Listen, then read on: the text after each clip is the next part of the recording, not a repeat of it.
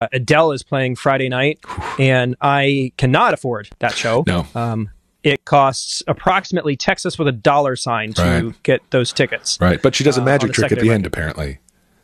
Yeah, she like disappeared. Yeah, that's pretty good. Did you see the Did you see the thing where she had to restart? She restarted uh, "Rolling in the Deep" because she was way off pitch.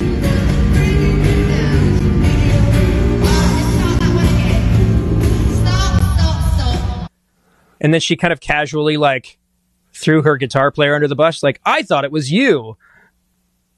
that was that was relatively uncool of her to Yeah, do. yeah. Um, but she did. She's like, stop, stop, stop. I'm. She's like, I I can be pitchy, but I was real flippin' pitchy, I know I'm pitchy, but that's really flippin'. pitchy. Let's start that again, please. But she didn't say flippin' because she's Adele. Right.